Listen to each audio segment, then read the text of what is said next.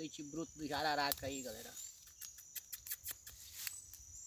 E amarrada.